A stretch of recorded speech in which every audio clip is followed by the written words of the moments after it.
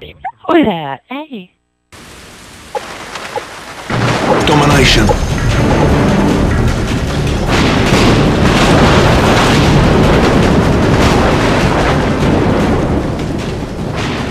Capture the objectives. Hello, guys and gals of the YouTube world. This is your man here with a plan. Endorphin Rush 23. And I got a nice chunk of nicotine going right in my body right now, so this should be this should be real nice.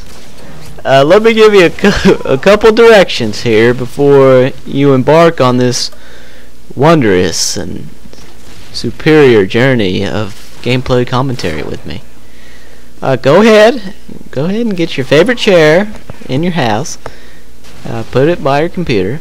Get your favorite ice cold beverage. Uh, if you're under 21, don't let it be an alcoholic beverage. That's against the law. And just sit back and enjoy the show here. Enjoy this epic gameplay. I thought this gameplay was pretty darn good. Uh, I'm gonna I'm gonna go as far to say it's probably my best. Uh, get a real nice score at the end.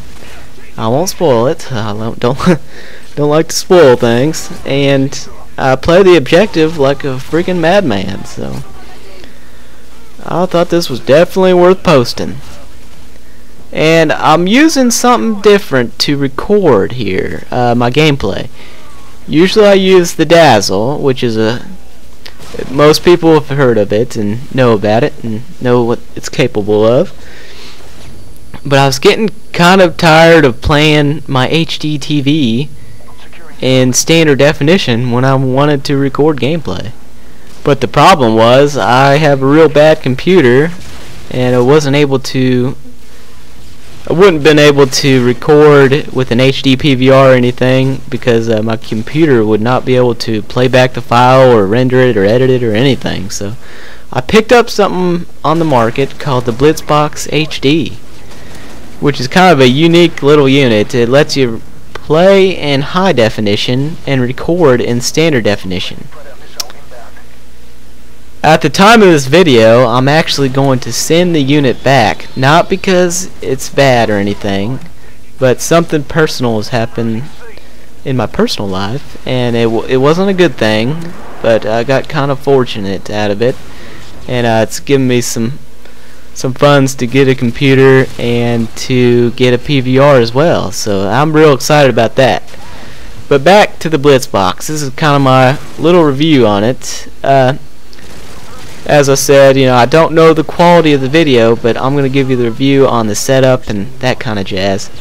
It's real easy to set up, and it actually did not take long to get to the house either. I've read reviews about it, and one of the complaints was it took a long time for the unit to get to him, like months. It actually took months.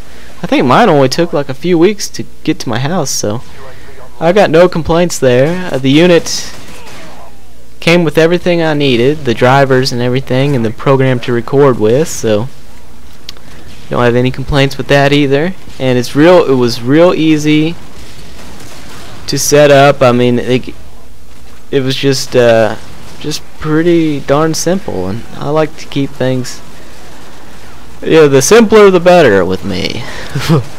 but, so I would recommend it to any possibly someone watching this that wants to get into commentaries and they have an HD TV and they like to play in HD but don't have like a super awesome computer to record and edit the videos in HD as well. So I'd recommend it to maybe some a new guy that's trying to get into commentaries or someone that just wants to try something, you know, that lets you play in HD. So Anyways, uh, this is a little ground war domination gameplay on Storm. And I'm gonna do something here. I'm gonna talk about the guns I'm using in this game. Not just I'm not just gonna say like oh, I'm using the P90 and stuff. I'm gonna give a little background info. I did some research on these guns because I knew this was a long gameplay, and I wanted to, you know, make make it pretty interesting. So I did a little research on the weapons I was using. Yeah, I'm going to go ahead and tell you guys about that. I got them written down, so if it sounds like I'm reading, um, I actually am reading something. So hopefully you guys will forgive me for that. But first, let's start with my primary. I'm using the P90, and I got the silencer on here. But the P90 is actually a Belgium-made gun. Ooh, nice C4.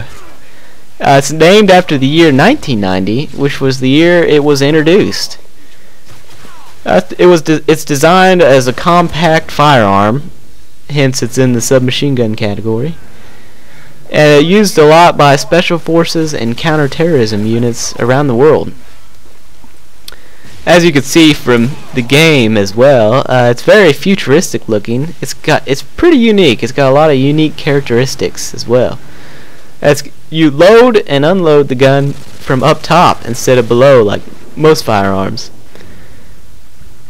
It also fires a real small caliber unit of ammunition, which makes it fairly unique. It's in the service at the present moment. It's in the service with military and police forces in over 40 countries throughout the world.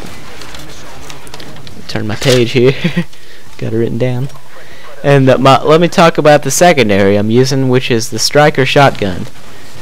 Uh, by the way, uh, this is a real good gun to use. I, I'm surprised at how good it was. I, in all my previous hours of playing this game, I never really gave the striker too much of a chance, and I kind of regret that because it's real, it's pretty darn good. It's kind of like similar to the Spaz in range and and damage as well, but it's semi-automatic too. And I, I put a silencer on here, and I wouldn't recommend that, but it was fun to run around with a silenced SMG and a silenced uh, striker, flanking the enemies and stuff. And you know, being a little sneaky guy. But the the striker, it's also called the street sweeper in real life. It uses 12 gauge shotgun shells.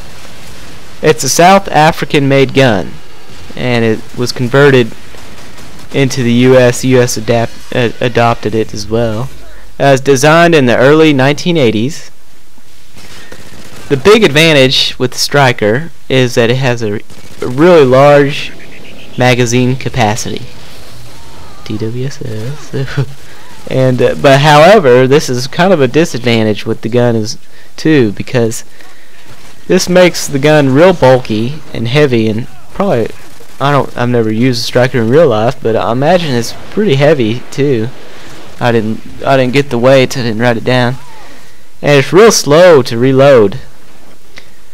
But also another negative is it can be dangerous to the guy shooting it because as you're shooting semi-automatic, it sometimes a shell it'll pass over one of the shells, and so there'll be an a cart a shell in there that hasn't been fired, and it can actually uh, come back and explode on the person firing it. So that that would not be good. I don't. That's not too common, but it's a possibility with the gun.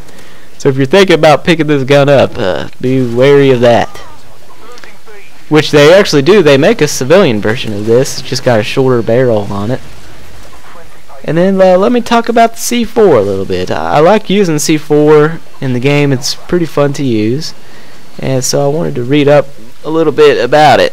Uh, it's made up of explosives and plastic binder and uh, something called a plasticizer, which puts it all together. Major, the major advantage of C4 is that it's real pliable and can be molded into like any shape that you want to. This makes it so you can put C4 charges like in holes, like small holes and gaps and cracks, and you just put it pretty much anywhere. I mean, it's like Play-Doh, really.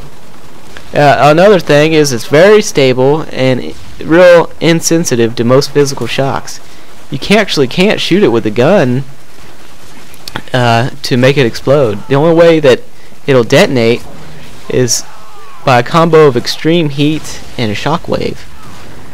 And uh, something interesting else is that it was used in Vietnam to actually heat rations. The soldiers would heat rations on long patrols. But okay, guys, that's a little gun history for you, and we're wrapping up the video here. Thanks for watching. And there's my score. I go 76 and 12. My highest score, and uh, got a lot of captures and defends there. So pretty good game. All right, guys. Thanks again.